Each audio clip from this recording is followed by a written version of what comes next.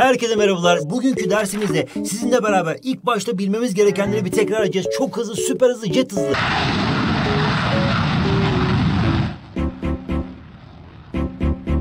Ben bunu bilemediğim zaman ne yapacağım? Kopya çekeceksiniz. gerçekten zor bir sayı verdiği zaman dese ki bize daha yüksek bir sayı mesela 350 dese. Ne yapacağız böyle bir durumda? Hesap makinesini 350 diyeceğiz kullanacağız hocam. bak içeride kalan arkadaşlarımız da 7 ve 2'dir. 7 kere 2 kaç eder beraber? 49. Yuh! 14 eder. 7'nin karesi mi dedim? 7 kere 2 dedim.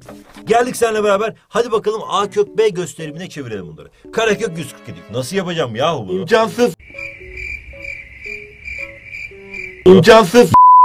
Mesela şöyle Tonguç'um bak. Topuklu ayakkabı ve normal ayakkabı. Ben genelde topuk giyiyorum. Mesela hiç böyle büyük kamyonlar gördün mü Tonguç'um? Sen böyle hani büyük kamyonlar gördün mü? Evet. Güzel çiziyorsun. Tebrik ediyorum seni. Buradan hatta böyle bir kancası vardır. Buradan böyle geçerler. Ama ne yaparlar biliyor musun? Buraya bak 1, 2, 3, 4, 5, 6, 7, 8 bir sürü tekerlek var. Ne, neden biliyor musun evladım? Havalı dursun diye. Hayır hava dursun mi? Yani onu çok basit bir şekilde yapabilirsin. Mesela deney olarak e, mesela şu, Elimi kullanabilirsiniz. hatta şöyle bir tükenmez. Bir tane tükenmez kalem. Adi bir tükenmez kalem tamam mı? Şimdi ben elime bak. Burası benim elim. Şöyle bastırıyorum Tonguç'um. Bak şöyle bastırdım. Elim içine kadar çok görüyor musun? Evet. Bastırdım. E, hatta böyle bir yaklaştıralım. Bir dakika şöyle bir daha hemen uzunlayayım. Bir dakika çek bakalım kafanı evladım televizyon. Heh, Wow. Bak. Teknoloji. Şimdi ne tek... Şöyle bastırdım. Bu kadar çöktü görüyorsun. Şimdi bak. Aman Allah'ım elim Aa! acıyor ama bilim için her şeyi yaparım. Ambulans! Bir de Tonguç'um şöyle bastırıyorum aynı kuvvetle. Aynı kuvvetle delecek neredeyse. Gerçekten de bilim Matkapla da yapabilir misiniz aynısını?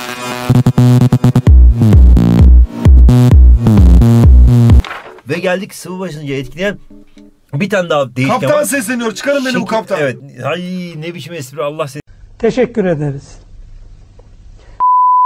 O zaman burası da C olduğuna göre şu parçası da C'dir diyebiliriz. Peki bunun yanında böyle pembiş bir alan var. Görebiliyor musun? Bu pembiş alanda Pembe gönlüm sende. aynen Yemekte yaparım Salçayla göbek atarım Kalçayla bir kere anne dengeli beslenmeli mi Tonguç öyle mi? Evet. Evet o zaman annenin dengeli beslenmesine ikimiz de okey dedik. Harika. Yürüyüş gibi fiziksel aktiviteler yapmalı mı Tonguç? Hayır asla yürümemeli. Oturmalı evde. Otursun çünkü yorulur. Evladım olur mu? Bebek var karnında otursun. Ben Hayır. onu a- arabayla gezdiririm. sağlığını, insanın sağlığını, kan dolaşımını hızlandıran ve insanı sağlıklı yapan şeyler. Ama hep sen bana şunu söylersen, gülle atsın, işte ne bileyim... E, Barfix. Barfix çeksin. Ondan sonra ne bileyim e, mekik çeksin 70 tane, günde 70 tane. Öyle bir karın kasları olan bir anne olsun falan. Öyle bir şey olmaz herhalde. Anne de unutma. Benim annem tek Six kolla pack- 30 şınav çekebiliyor hocam. Geldik Bu, bu arada kötü bir haberim daha var hocam. Bunu söylemek zorunda izin verirseniz. Evet. Müzikte Unutma. sizin yüzünüzden 100 almış hocam. Rezalet. Nasıl bir not? Hani Allah'ım sizin ya. yüzünüzden, hani Re- evet, yüzünüzden gerçekten 100 yüz. almış. Yüzünüzden, hani Re- evet, yüzünüzden gerçekten 100 yok. almış. Ha tamam. Bir kere ben bakalım hangileri yapılmalıdır? Sağlıklı geçmesi için kontrolsüz ilaç kullanılmalı. Ku- kullanılmamalı. Bu doğru bir ifade bak. Kullanmamalı demiş. Bu doğru. Bu da toplamda dört tane temel yapıdan oluşuyor. Birincisi Tonguç Evren benim testisler. Testisler aslında her şeyin başlangıcı. Su testisi su yoluna kırılır. Hayır. Hocam Ama- bu arada Furkan Yayla, Armağan Topçu, Sinan Erçetin, Hamza Harikasın, Çelik, tebrik Tür- ediyorum Türkiye seni. lahmacuni herkes bilmiştir. 100 Newton'lık bir yükü. Yine ben daha aşağıda bir kuvvetle kaldırayım mı bunu? 100 Newton'lık bir Kaldırmayın yükü. hocam, dursun Kaldırayım ya 50 Newton'la kaldırayım mı sana? Yok hocam kaldı. Hadi abicim bu sefer böyle olsun 50 Newton. Peki, neyse, kaldı. Dolayısıyla bak ne yaptık? Biz yükte pazarlık yaptık. Peki geldik aynalar konusuna. Aynalar konusunda şunu bilmemiz gerekiyor Tonguç'um.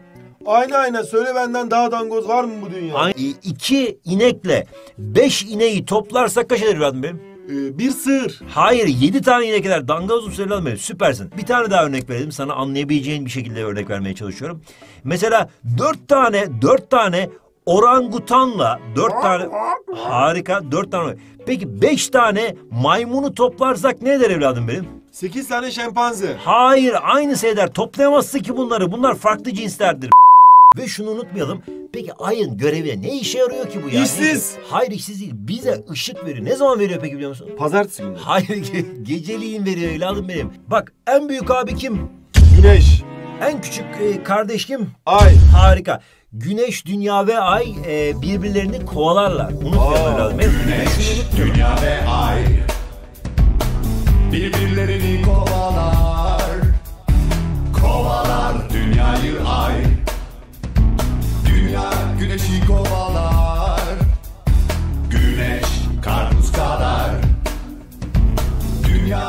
the